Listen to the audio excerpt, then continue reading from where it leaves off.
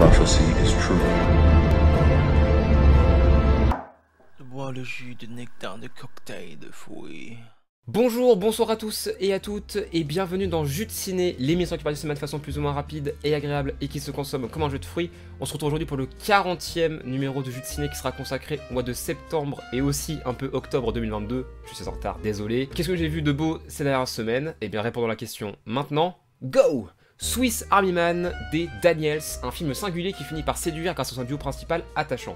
Cependant, le long métrage peine parfois à se renouveler et n'arrive pas selon moi à être complètement émouvant, mais c'est une belle aventure qui ne manque pas d'idées 7. Coup de tête de Jean-Jacques Hano. Difficile de se positionner sur ce film à la croisée des genres. On pense à un film sur le foot, mais en fait, non. On pense à un film sur la rédemption, mais en fait, non. On pense à un film sur la vengeance, mais en fait, non. Il y a incontestablement de bonnes idées et la mise en scène est vraiment bonne. Il est juste dommage que le film accuse des dialogues et des situations qui ont franchement mal vieilli et qui trahissent un peu son message. 7.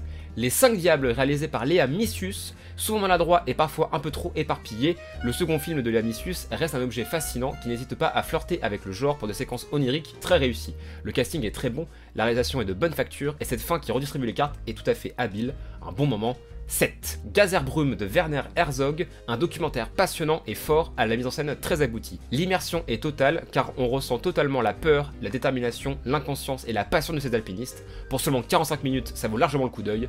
8. Porco Rosso de Hayao Miyazaki, encore un excellent film étonnamment poétique et moins étonnamment d'une grande beauté visuelle.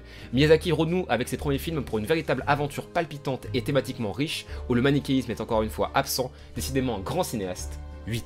Rebel de Adil El Arbi et Bilal Fallah, ce mélange des genres improbables sur le papier donne finalement lieu à un film impressionnant et puissant. Certaines séquences sont impressionnantes de maîtrise dans la mise en scène et dans la direction des acteurs, certes imparfait, c'est un sacré uppercut qui mérite le coup d'œil, tant on sent que c'est un film important pour les réalisateurs. 8. Le Visiteur du futur, réalisé par François Descraques, on a forcément d'emblée une immense sympathie pour le projet. Le fait de voir tous ces acteurs d'internet sur grand écran dans un film de SF fait plaisir à voir. François Descraques nous propose un long métrage attachant, rythmé et très plaisant à suivre. L'attachement au personnage est immédiat, les effets spéciaux sont tout à fait corrects pour le budget et la mise en scène est loin d'être honteuse. Évidemment, le scénario n'est en rien révolutionnaire et se permet un peu trop de faire ce qu'il veut, mais c'est un vrai bon moment qu'il faut soutenir. 7. Le parrain de Francis Ford Coppola. Ça y est, je l'ai vu.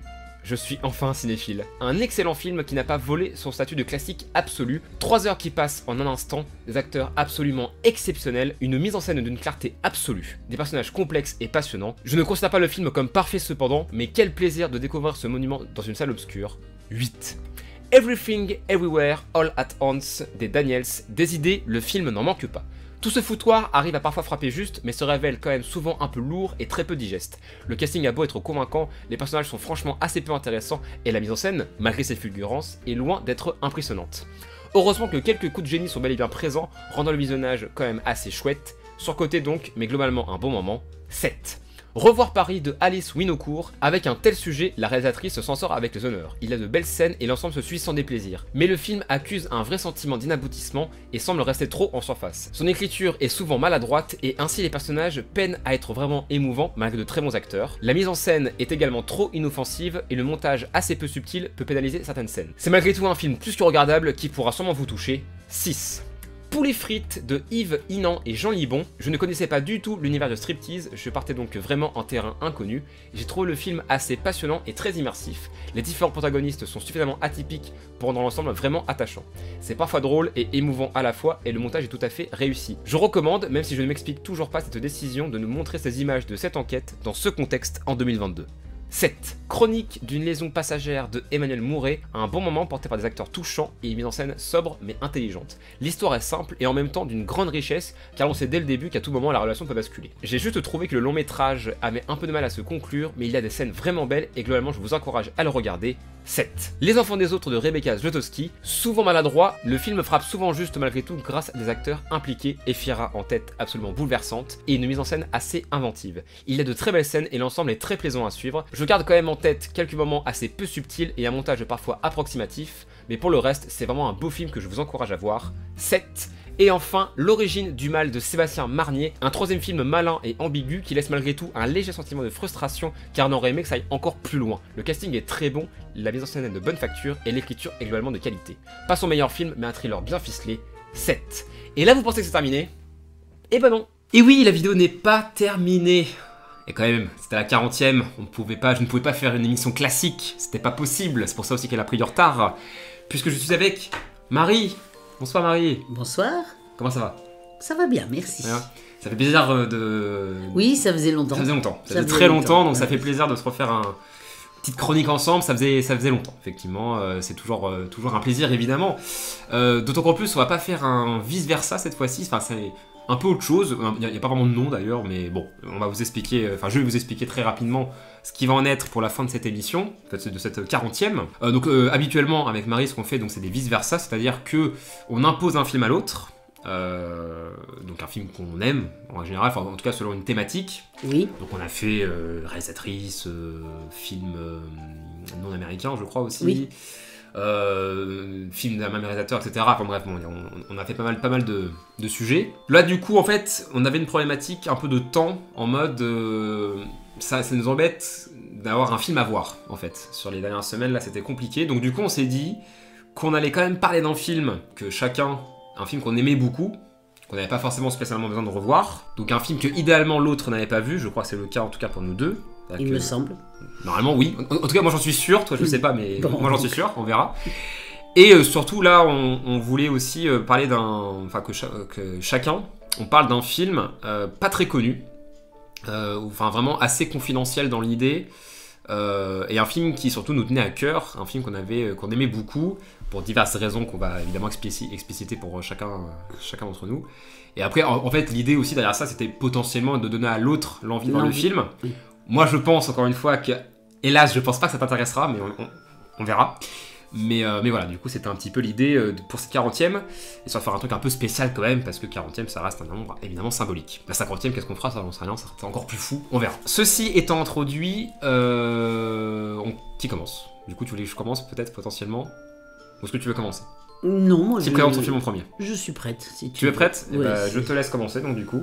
Alors je ne sais absolument pas du tout quel film tu, tu vas nous Oui. présenter là. Je- vraiment, j'ai vraiment essayé de me rester loin de, ta- de tes recherches et de tes et de tes. euh, je, je parle trop. Mes déjà. investigations. Voilà exactement. Voilà. Bon, allez, on va. Je te laisse donc la parole. Quel film donc nous, nous présentes-tu Marie? Tu n'es pas sans savoir, et je crois que, bon, pour ceux qui éventuellement nous écoutent un peu, que euh, j'ai un réalisateur, Fétiche oui, qui me tient très à cœur. En fait, j'en ai deux. Euh, mais il fallait que je fasse un choix, donc j'ai fait un choix. je peux, je peux essayer de deviner? Oui, Ah, Hitchcock? Non, Truffaut? oui. Ok. Alors c'est celui-là ou c'est l'autre? Ou c'est le, le deuxième parce que tu disais que t'en avais deux qui étaient, qui étaient chers. Non, non, c'est Hitchcock et Truffaut. Ah ok bon. bah, Donc, donc du coup, j'ai choisi un film de Truffaut Ok. et qui rend hommage à Hitchcock.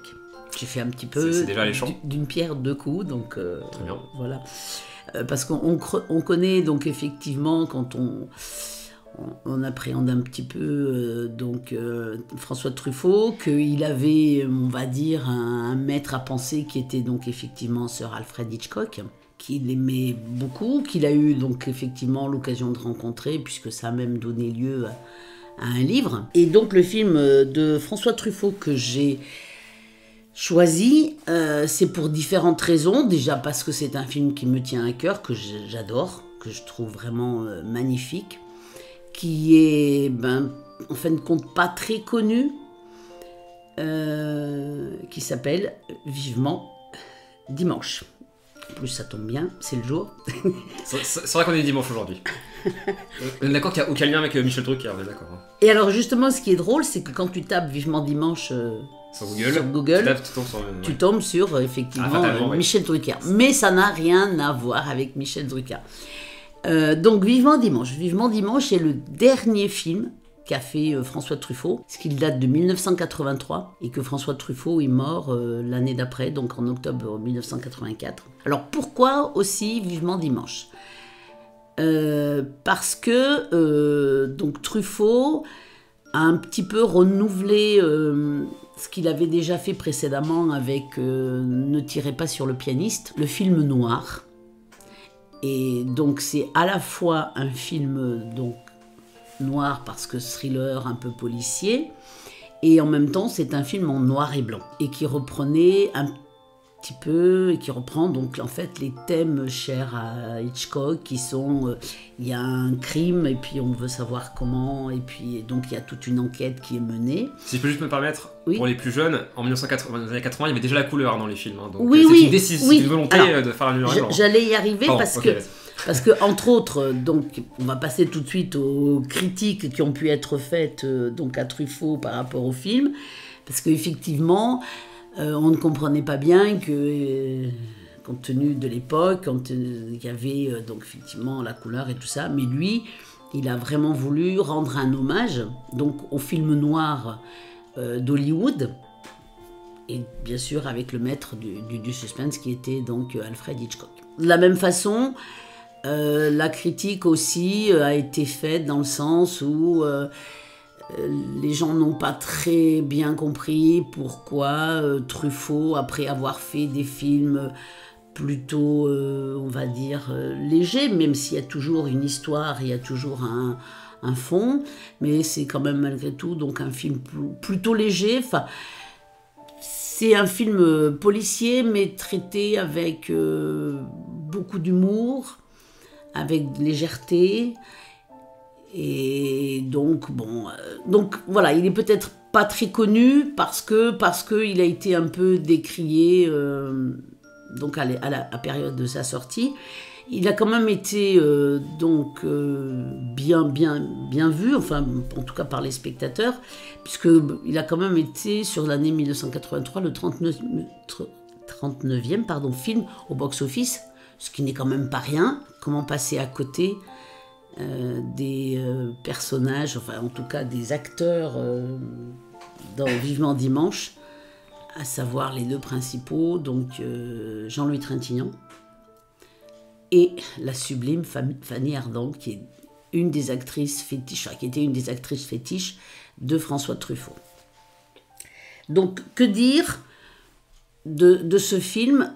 Après, je ne vais pas vous raconter toute l'histoire, juste un petit, euh, un petit synopsis Oui, voilà, oui. pour dire que bon voilà donc c'est euh, le, le héros s'appelle euh, Julien Vercel donc Jean-Louis Trintignant euh, qui est donc agent immobilier dans le midi de la France à hier pour être exact puisque donc le film se passe à hier donc hier c'est pas un H et euh, Oui, bien compris, merci. pour la ville la ville d'hier d'accord? Merci. ça c'est pour mettre un petit peu de de, de- Là aussi, c'est pour les plus jeunes qui nous écoutent.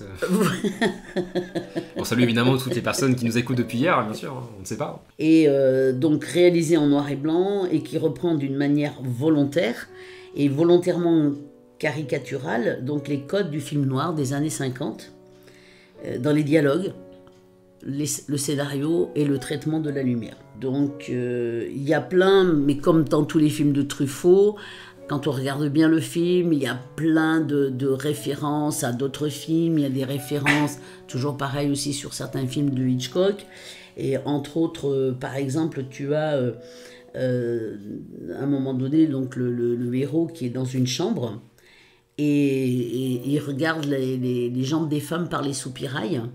Et donc, entre autres, ça fait référence au film L'homme qui aimait les femmes, euh, donc déjà donc à l'époque de, Truffaut. Donc je reviens au héros, donc Julien Vercel, qui est un agent immobilier. Et euh, donc il est euh, dans une partie de chasse, il est parti chas- chasser le, canard, enfin bref. Il y a un meurtre, il y a quelqu'un qui meurt, et on apprend petit à petit que cet homme qu'il ne connaît pas, puisque bon bien sûr au départ il est interrogé par la police parce que soupçonné, et un homme donc il ne connaît pas, et s'avère être en fait l'amant de sa femme. Femme que l'on retrouve assassinée aussi quelques temps plus tard. Donc en fait il est suspecté d'un double meurtre de sa femme et de son amant. Et, et ce qu'il y a de, de drôle un peu donc dans ce film, c'est que ce n'est pas lui qui va mener l'enquête.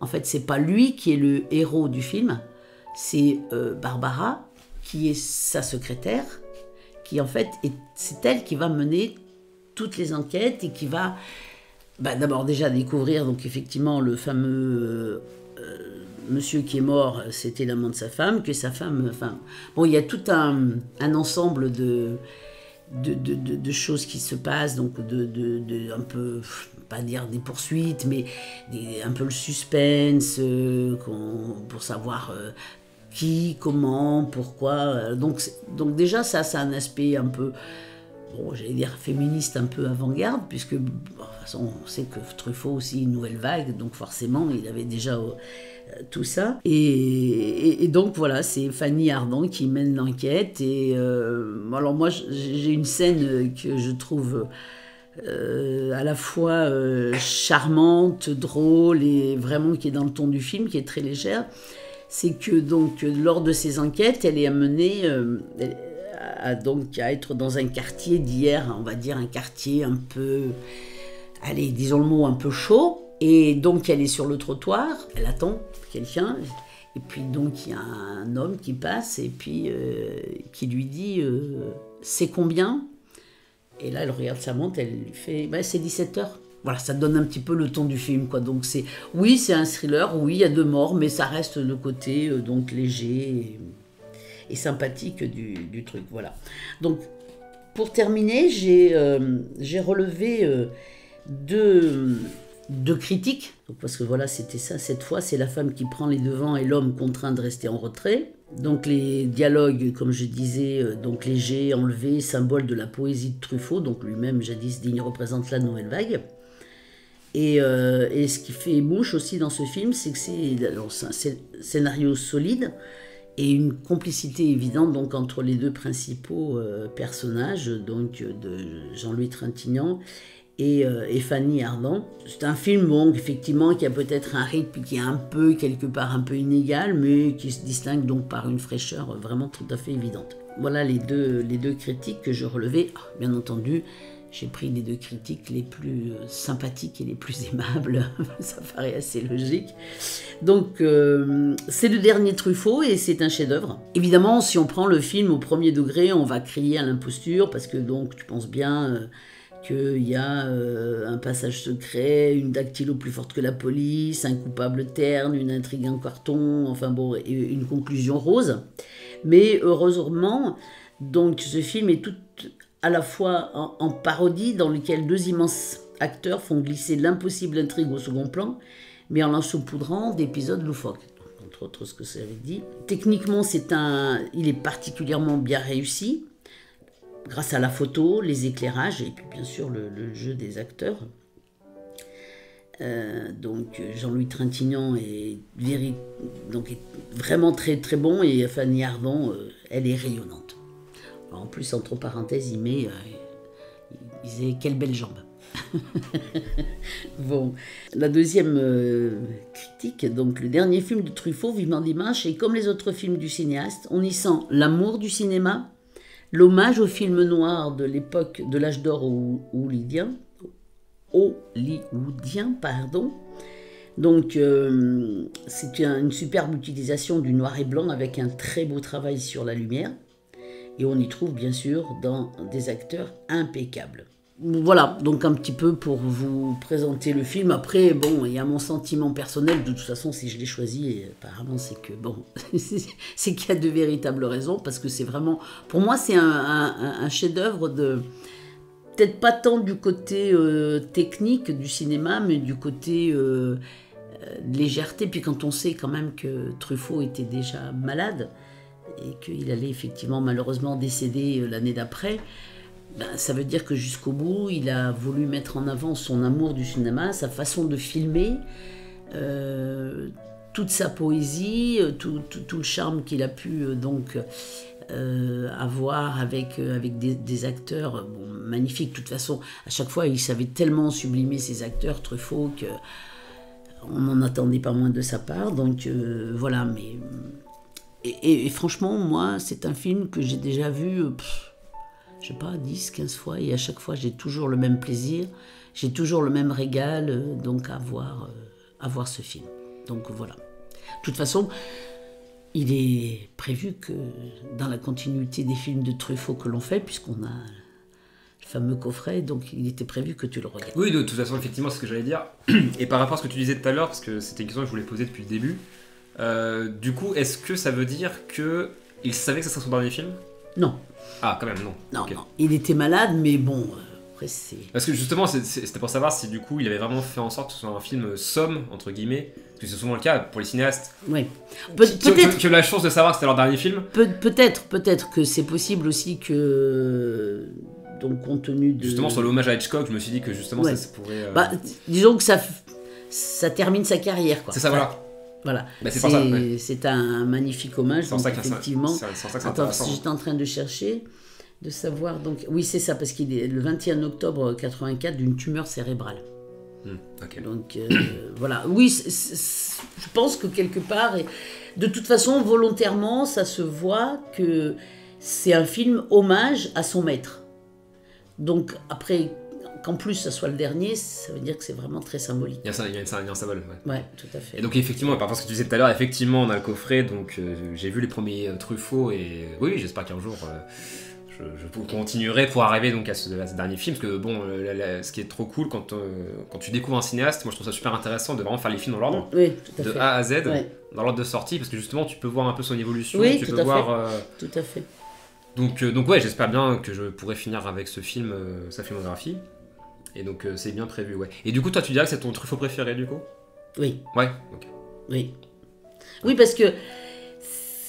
Alors, c'est- c'est c'est fou à dire, mais moi, je tombe totalement en amour sur Fanny Ardant dans ce film. Parce que, bon, Fanny Ardant, c'est pas la première venue, quoi. Et puis, Non, bien sûr, déjà oui. à l'époque, elle était déjà très, très connue, mais, mais elle est. euh, alors, Fanny Ardant, euh, c'est une, c'est une actrice qui a toujours eu des rôles un peu difficiles. Et, là, pour le coup, dans le film, eh ben, a ce côté euh, très frais, euh, très léger, qui fait que ben, c'est pareil. Et puis ça fait un peu, bon, euh, on pense, quand on la voit aussi, on, a tendance parfois, pour, si on se rappelle un peu certains films hollywoodiens, et ce qui est mon cas, puisque moi je suis une fan de- de- des films des années 50-60, je pense beaucoup à Greta Garbo, Ingrid Bergman, Bergman pardon. Donc elle, elle a ce côté comme ça euh, diva, Hmm. femme fatale. Ouais. Et, et elle en joue merveilleusement bien dans ce film. quoi. Donc euh, voilà. Donc voilà. Ok, C'est à ben, peu près tout ce que j'ai à à en dire euh, Super. de ce film. Bah, c'est très bien. Et je le conseille bien sûr. Du coup, oui. J'imagine bien. C'est- oui, oui. Ouais, écoute. hein. Euh, Il faut passer outre le, le fait que ce soit du noir et blanc. Euh, oui, c'est du noir et blanc, mais aujourd'hui on revient aussi. Hein, encore, il y a certains films aujourd'hui- qui Il y aujourd'hui. a pas mal de films qui sont noir et blanc. Voilà, aujourd'hui, qui hein. reviennent un petit peu sur. Parce que en, en fait, le, le noir et blanc, ça, ça permet, et c'était le cas pour, euh, pour ce film et pour Truffaut, de sublimer la lumière en fait. Donc, euh, et techniquement, euh, ça fait un film très abouti après à la fin. Ah ouais, tout à fait. Ah ouais, non, mais faut vraiment pas sous-estimer le noir et blanc euh, sur ce qui peut avoir d'esthétique, ça c'est sûr. ouais. Très bien, bah parfait. Voilà. Merci Marie, c'était Ben, très bien, très intéressant.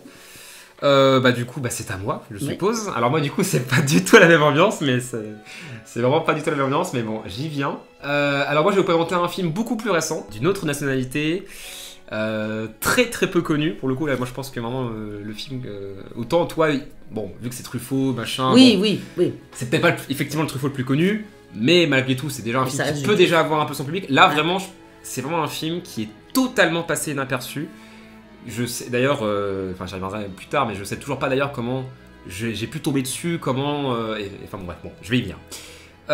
Donc, le film que je vais vous présenter est un film danois qui est alors qui est localement, quand je dis localement, donc au Danemark, sorti en 2018, mais qui est arrivé chez nous en France en 2020 en juillet 2020 précisément, euh, mais encore plus précisément le 15 juillet 2020. Euh, je rappelle pour, ceux, pour celles et ceux qui auraient déjà oublié que à cette époque-là on était entre deux confinements, Oui, euh, que les salles de cinéma étaient extrêmement fragilisées à cette époque-là. Donc on était sur un truc très incertain où bah, il y avait encore pas beaucoup de gens qui avaient peur d'aller en salle. Euh, bon ça c'était l'été, mais malgré tout bon on savait qu'on on était vraiment plein dedans. C'était vraiment les premiers mois du Covid. Donc bref, donc il est hélas sorti dans un contexte vraiment pas facile. Il a eu une distribution très pauvre. Alors des informations que j'ai eues, le film serait sorti donc le 15 juillet 2020, donc le jour de sa sortie, sur 64 copies. Donc il a été projeté dans 64 cinémas dans toute la France. et ça fait pas Ce qui est-. Peanuts. Mm. Et il aurait, euh, selon encore une fois les chiffres que j'ai, il aurait fait 13 352 entrées. Ah oui. Donc euh, absolument rien du tout. Et moi j'ai eu la chance de le découvrir en salle. Le suspense, il est jusqu'au bout pour le film, pour Ah, le titre Oui, oui. D'accord. Le, pas si c'est je fais exprès de. Voilà. Et moi j'ai eu la chance de le découvrir au cinéma, euh, donc très précisément le 23 juillet 2020. Euh, je sais toujours pas comment c'est possible qu'on l'ait eu à Limoges. C'est un, un miracle absolu et je remercie. euh, Après, ça, ça- c'est en fonction de- du distributeur. Tout à fait, c'est ça, mais je remercie le distributeur de l'avoir proposé à Limoges parce que moi j'étais ravi de le voir, mais bon, j'y viens. Et du coup, le film, enfin, qu'est-ce que c'est? Donc il s'appelle Exit, donc ça c'est le titre français, le titre original c'est Cutterhead, donc réalisé par, je crois que je prononce bien, c'est Rasmus Kloster Bro, donc un film danois encore une fois je le rappelle, qui a été, cela dit malgré tout, tourné en majorité en anglais. Euh, donc euh, ça reste euh, donc voilà mais si vous, si le mettez en VO ça sera de l'anglais à 90% je crois un truc comme ça. Et donc qu'est-ce que ça raconte? Ça raconte l'histoire de alors pareil je, je sais pas comment on prononce le nom de la, du personnage principal Ri R-I-E euh, Rai, je sais pas du tout comment on prononce, bref, qui est donc une journaliste danoise qui, euh, pour un reportage, visite le chantier du métro de Copenhague. Euh, et donc, ce reportage qui a pour vocation de présenter un projet qui est une coopérative européenne, parce que c'est un, un chantier donc qui... Coopération. Oui, oui, coopération, oui, pardon. Euh, parce que c'est un chantier donc, qui regroupe des ouvriers de plusieurs pays différents et de plusieurs classes sociales aussi différentes. Et reviendrai aussi par rapport à ça, c'est très intéressant. Sauf que un accident se produit et que euh, elle va être bloquée dans un sas de décompression donc avec deux autres personnes, deux ouvriers. Et euh, disons que au fur et à mesure, je vais là c'est assez flou, ça va mal tourner. Euh, ça va mal tourner puisque de. Enfin voilà. En fait, en gros, le film est un pur survival, comme on pourrait dire, donc un pur film de survie. Huis clos aussi. Totalement huis clos, euh, parce que ça se passe euh, ouais, quasiment 100% donc, dans ce chantier. Et même plus le film va avancer, plus on va être de plus en plus resserré. Voilà donc à peu, à peu près ce que ça raconte. Et donc voilà, donc j'ai. Alors je sais, mais encore une fois, je ne sais plus du tout comment je suis tombé sur ce film, comment j'en ai entendu parler, je ne, je ne m'en rappelle pas. Mais voilà, il s'avère que du coup, euh, moi les huis clos j'aime beaucoup ça, euh, globalement, c'est un genre que j'aime beaucoup. Euh, et en plus, voilà, justement, le fait que ce soit un film européen, le fait que machin, enfin, ça m'intriguait beaucoup parce que moi je suis pour hein, vraiment que bah, déjà s'éloigner un petit peu des films américains ou, français et donc justement de voir un peu aussi ce que proposent les autres pays. C'est toujours super intéressant et très enrichissant et, et c'est une chance d'avoir autant de diversité dans- qui nous est proposée en salle. Bon là, en l'occurrence dans très peu de cinéma, mais quand même. Et j'ai pris une claque monumentale. Euh, c'est un film qui me reste encore en tête, donc je l'ai pas encore revu depuis, donc ça fait donc plus de deux ans que je l'ai vu, et je l'ai pas encore revu, et c'est un film qui me reste en tête. Ça va être l'occasion. Bah j'ai très envie de le revoir du coup là. Je le verrai. Alors, le Attends, attends parce que Ah bon, c'est. attends j'y viens. Ah, d'accord. Euh, Non, parce que l'histoire, ça, elle est intrigante. Oui, mais, mais euh, attends, j'y viens. Ah. J'adorerais que tu le vois, mais je sais pas si. Mais j'y viens. Voilà, donc j'ai pris une claque monumentale devant ce film. Pourquoi Alors parce que déjà c'est un film que je, dirais est coupé un peu en deux parties. C'est-à-dire qu'on a une première partie où, ça va vraiment être plus ou moins le reportage en lui-même, donc où on va donc suivre cette journaliste, où donc elle va, va aller voir les ouvriers un à un machin. Très vite on va comprendre qu'il y a un enjeu sociétal et social dans euh, ce projet, puisque les ouvriers sont issus de pays différents, de classes sociales différentes. On va même parfois euh, enfin, voilà, avoir des, des immigrés, etc. Donc déjà, il y, a il y a un vrai contexte qui se pose là-dessus, qui va être très intéressant par la oui, suite. qui, qui te renvoie euh, à la Coupe du Monde du Qatar. Oui, si on veut. Bah, Euh, alors, Ça fait résonance. oui, oui Non, non. non, mais je, je parle par rapport au fait qu'il y ait des immigrés, des conditions de Oui, travail qui sont. Tout à fait. Alors oui, le, le- le film met un petit peu en avant ça, mais pas, c'est pas non plus le sujet Mais- principal, je dirais. voilà. C'est surtout pour le côté, effectivement, diversité, etc., Mm. qui, qui est pour le coup très intéressant, et euh, encore une fois, c'est intéressant pour la suite. Et donc voilà, justement, déjà, le film a pu être un peu critiqué, entre guillemets, parce que pour la première partie, les gens disent en mode, ouais, il se passe pas grand-chose, on se fait un peu chier, parce qu'en plus, il faut évidemment euh, se mettre dans le contexte que c'est évidemment un film qui a pas un gros budget, Mm. donc il va y avoir beaucoup de hors-champ. L'accident en, lui-même, on va pas vraiment le voir, il va être extrêmement suggéré, bien sûr. Mais justement aussi le fait qu'on voit pas ce qui se passe, le fait que ça soit vraiment resserré, et encore une fois de plus en plus on va être resserré au fur et à mesure du film, fait que du coup il y a un vrai, une véritable immersion qui se met en place, c'est un véritable sentiment de suffocation. Et c'est en ça que je dis que je sais pas si ça va te plaire, parce que c'est un film que je recommanderais pas des claustrophobes, parce que c'est vraiment un film qui va vraiment mettre l'accent là-dessus, notamment dans sa seconde moitié, où là vraiment ça, on va franchir un cap, et où là justement, parce que vu qu'ils sont en comité réduit, disons que là où au début tout était rose, machin, ils étaient tous polis entre eux, machin, au fur et à mesure ils se rendent compte que, que là, il va comm- bah, ça va commencer à être de plus en plus compliqué de tous survivre ensemble. Il y a des rivalités qui vont se mettre en place, justement par rapport au contexte sociétal et social, où justement la journaliste, qui est donc une femme blanche, euh, Plutôt voilà, elle va être en mode, euh, enfin, comment dire, c'est c'est plus, c'est pas vraiment dit explicitement, mais on peut, on pourrait croire que justement, elle sera en mode, ma vie a plus de valeur que la vôtre. Et donc voilà, cette rivalité qui Mm. était très sous-jacente va s'immerger au, au maximum, et en même temps, le film va aussi s'accélérer euh, dans donc euh, sa claustrophobie, dans son rapport extrêmement anxiogène, jusqu'à arriver à genre 20 minutes vers la fin du film où vraiment c'est euh, on, on arrive presque à, autre chose. Le film bascule complètement dans, une, énorme séquence qui j'ai encore en tête où vraiment on va avoir deux personnages qui vont vraiment être au bord de la suffocation où tout, va jouer sur un respirateur et où sans aucun dialogue de plus en plus le malaise va s'installer où on sent que ça va basculer à tout moment et j'ai trouvé ça incroyable euh, sur ce que ça racontait. Déjà, déjà c'était extrêmement bien fait parce que je trouve que la mise en scène va vraiment se permettre de, de, de, de limite faire abstraction du décor et juste se concentrer sur les Ouais, corps, Sur les personnages. sur, sur vraiment le. Le film va vraiment insister sur le fait qu'ils sont en souffrance énorme. Et c'est en ça que fois, je dis que le film est pas facile à regarder parce qu'il faut vraiment être accroché. Et d'autant qu'en plus, moi je l'ai vu au cinéma, je peux vous garantir qu'avec l'image et le son, Oui, c'est, ça doit être plus impressionnant. voilà, et c'est encore, et c'est aussi, aussi un peu un pied de nez aux personnes qui disent que le cinéma c'est que pour les films à grand spectacle. Je suis totalement contre ça parce que c'est genre, c'est typiquement le genre de film qu'il faut voir aussi en salle pour le son et l'image. Parce que forcément, euh, l'impact que le film peut avoir est beaucoup plus important et beaucoup plus, euh, et beaucoup plus fort. Et il y a aussi une- un type de fin que j'aime beaucoup où c'est un peu une fin ouverte, Oui. ça se coupe au bon moment. Parce qu'en plus, le film C'est-à-dire qu'il n'y a pas de fin en fait. Oui et non.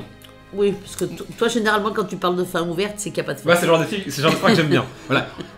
Honnêtement, le film est pas très long, donc il dure 1h20 à peu près. Donc on a vraiment deux parties effectivement bien distinctes. Où effectivement au début on pourrait croire qu'il se passe pas grand chose, que machin. Mais en même temps, je trouve que c'est super intéressant parce que justement la première partie va vraiment être du dialogue surtout.